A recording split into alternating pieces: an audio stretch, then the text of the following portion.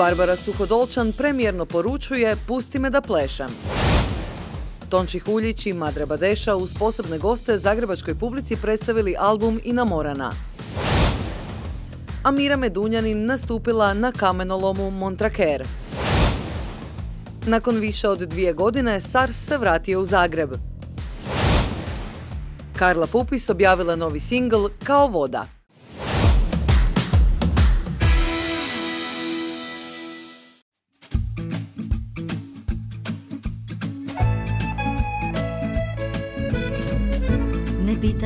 Kako, zašto, niti gdje sam bila.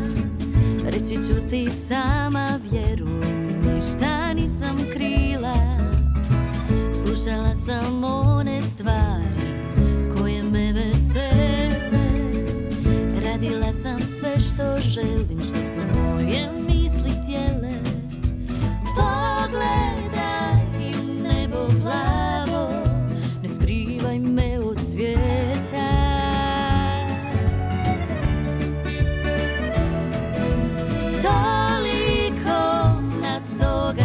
čeka Nemoj da ti smeta Što želim sve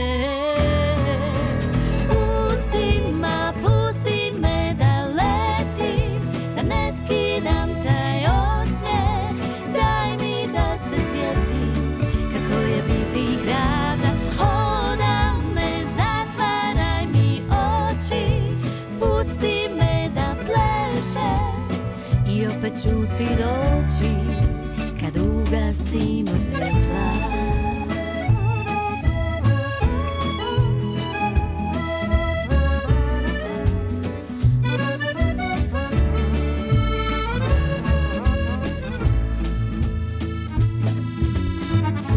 Ne pitaj me kako, zašto, niti gdje sam bila.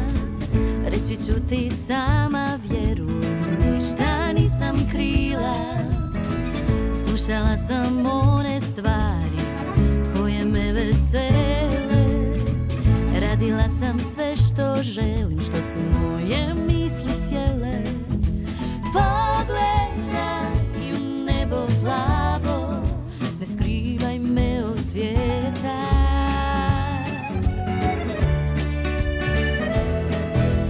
Toliko nas toga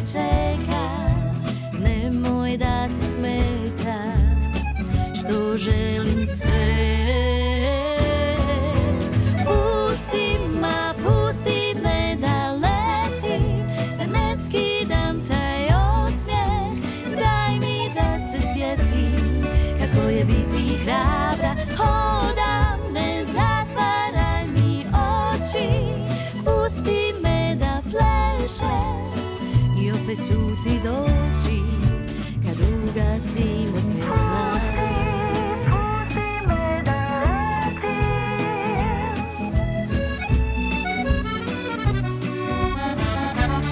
Kako je biti hrabra Hodam, ne zatvaraj mi oči.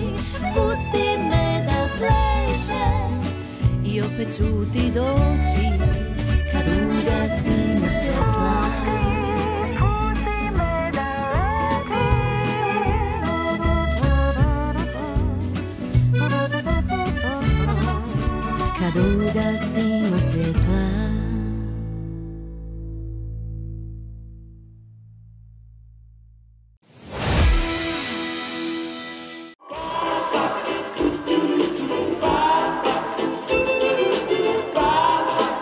Tonči Huljić i Madra Badeša u pratnji posebnih gostiju Zagrebačkoj publici uživo su predstavili aktualni album Inamorana nastupom u novo otvorenom Avant Gardenu. Atmosfera je bila odlična, žao mi je što se to nije desilo 7 dana prije. E, ljudi nisu, bili su zbunjeni, nisu znali e, imali koncerta, nemali, a bili smo dužni to odraditi. Evo srećom danas nas je Bog pomilovao pa nije bilo kiše i bilo je stvarno fantastična atmosfera, fantastična jedan jesenji, jesenja večer u Zagrebu. Uz skladbe Sina Morane publiku su proveli i kroz najveće hitove iz radionice svestranog glazbenika, tekstopisca, skladatelja i producenta.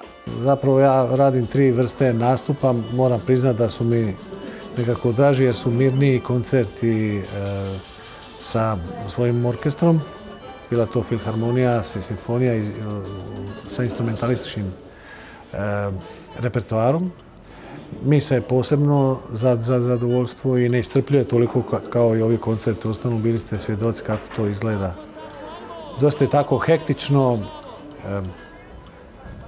Ljudi traže svoje, a ti si im dužan to dati Kako bi zagrebačkoj publici pružili nezaboravno koncertno iskustvo, Tonči Huljić i Madre Badeša na pozornici su ugostili Petra Grašu, Hanu Huljić te Domeniku.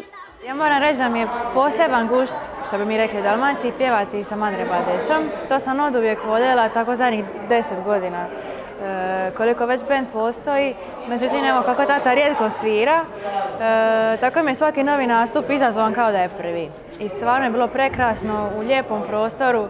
Publika se odmah digla na noge, tako da evo baš sam se isplesnala na bini i ljudi ispred bine baš smo uživali. Meni je toliko bilo gušt. Inače mi je ono gušt pjeva s Madre Badešom, to je pjesme koje sam ono toliko slušala, volim ih privatno, a pogotovo nastupat s njima, to je ono posebni doživljaj.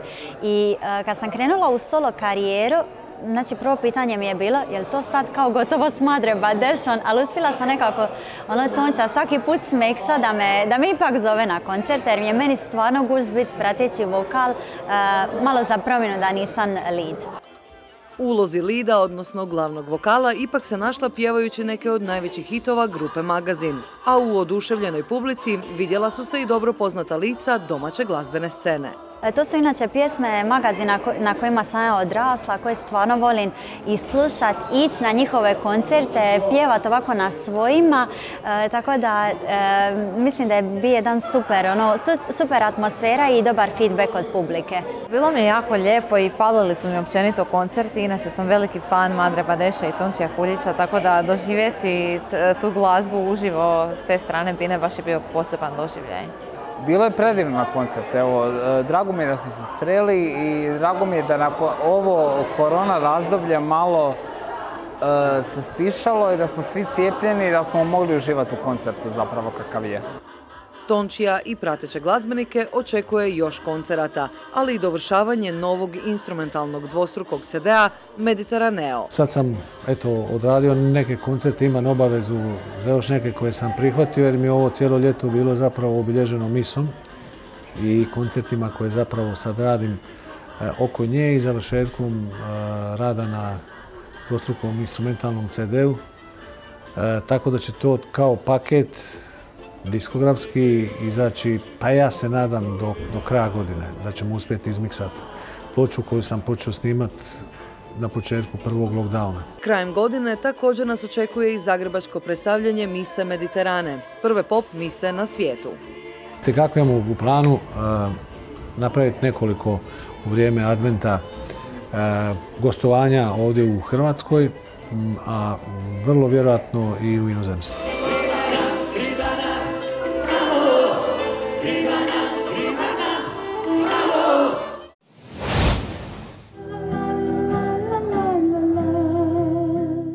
Amira Medunjanin, glazbenica čije ime postalo sinonim za Sevdah i Sevdalinku, u sklopu festivala u zagrljaju glazbe Kamena i mora nastupila je na jednoj od najatraktivnijih lokacija u Istri. Kamenolomu Montraker u Vrsaru. Bilo je prekrasno, koncert ma maestralan, ali prostor me oduševio totalno, ono, kamenolom Montraker, nisam nikad u životu bila.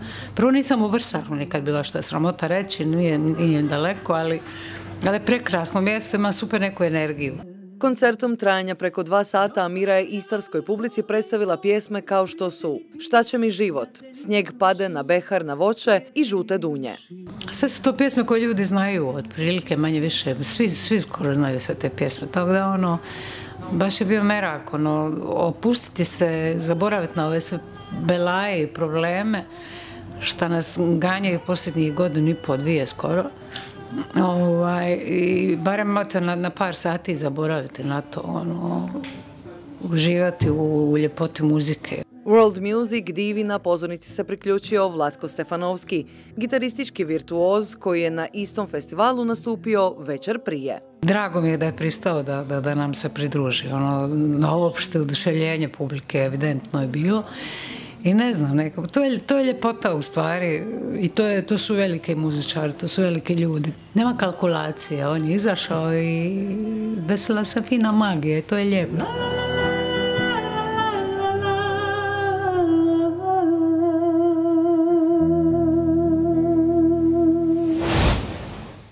Nakon više od dvije godine, grupa SARS vratila se u Zagreb, a publiku je nastupom na Zagrebačkom velesajmu provela kroz brojne hitove iz svog glazbenog opusa. Preduga pauza, ali eto, nismo mogli da planiramo koronu i šta će se sve izdešavati, ali mi je drago da pored svega opet dolazimo u Zagreb i da ćemo rokati večeras na Velesajmu. Od početka, od kad smo krenuli, pa eto, do dan danas imamo podršku u Zagrebu koju nikad nismo očekivali, ali eto, od prvog puta, pa eto, do dan danas imamo tu podršku koja ne jenjava i to drago nam je zbog toga. Beogradski glazbenici sa zagrebačkom publikom tijekom godina su stvorili neraskidivu vezu. Uvijek je bilo to, bendovi iz Beograda su dragi Zagrebu i bendovi iz Zagreba dragi u Beogradu, tako da to je normalno. Subotnji koncert članovi Sarsa iskoristili su za predstavljanje svojeg posljednjeg studijskog albuma Glava, ali još neobjavljenog novog singla.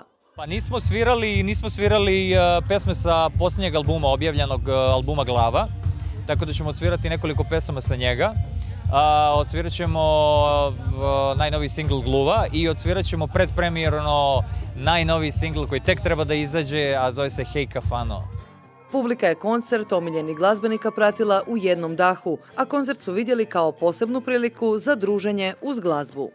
Je sigurno, pogotovo meni koja zapravo ih ide slušati prvi put u živo. Ali je isto koji muž nismo, nismo još imali prilike biti na koncertu njihovom i tako da ovo je posebna prilika i super, baš se veselimo. SARS radi na novom studijskom materijalu koji nas očekuje krajem godine.